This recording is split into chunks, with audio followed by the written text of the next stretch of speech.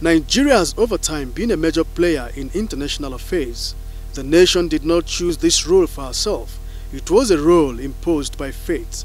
The amalgamation of the North and South was a product of fate. It created the most populous black nation on earth. Population is a major determinant in the power quotient, so the event of 1914 made Nigeria powerful ab initio. I wish to make our position plain beyond any matter of doubt as regards the African continent.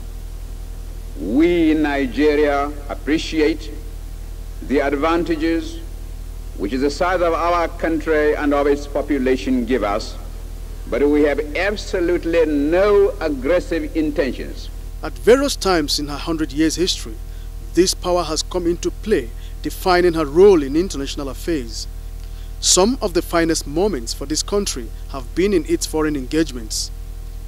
When we hear the world crying out for peace, we may receive the inspiration to deal with these intractable problems and be able really to devote all our resources to the advancement of mankind. A few decades after the amalgamation of the country, Nigerians from various parts of the country were drafted and taken out of the country. Their destination was Burma, the fought on the side of the colonial power Britain. The return to the country changed persons. For many, that marked the beginning of the liberation of Nigeria from colonialism. It also marked the beginning of the active engagement of Nigeria with peacekeeping, a role that has now earned her global recognition. Nigeria became independent on 1st October in 1960, and that same 1960, Nigeria was in Congo. And remember that General, uh, Major General Aguiyi-Ironsi was one time a force commander in Congo. Nigeria's role in the fight against apartheid remains a watershed in African history.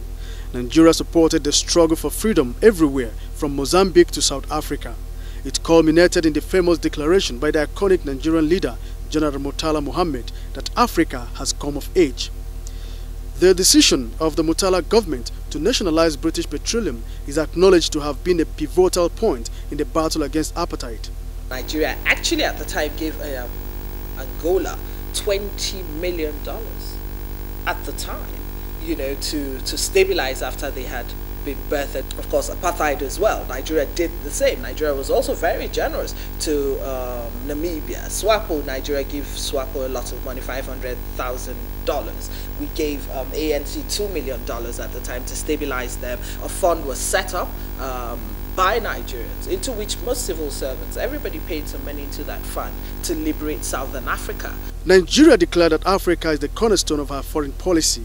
The country took custody of the leadership of the African continent, from its role as a dominant force in the West African region to the silent diplomacy in its technical aid corps, which has now spread to about three continents.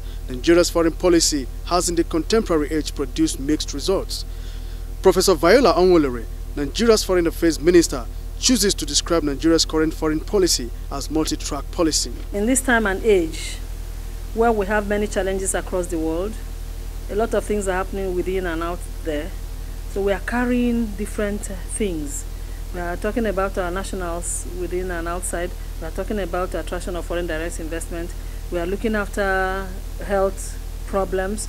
We are talking, taking on security issues across the globe and so on and so forth. Of course, engaging our uh, other countries in very good relationships. So a lot is happening at this time. In 2013, Nigeria got elected to the United Nations Security Council as a non-permanent member. The support was almost unanimous. It was in recognition of how prominent the country has become in international affairs. Nigeria is uh, one of the most uh, powerful and fastest growing countries uh, in the world. Uh, I think that's testified by the fact that President uh, Jonathan's going to have the opportunity to ring the bell uh, at the New York Stock Exchange. I think uh, it signifies how important uh, Nigeria is becoming uh, in the global economy. At the time of independence, Nigeria had 10 missions. Today, they have grown to 108. The country produced by the Act of 1914 is one the world cannot ignore.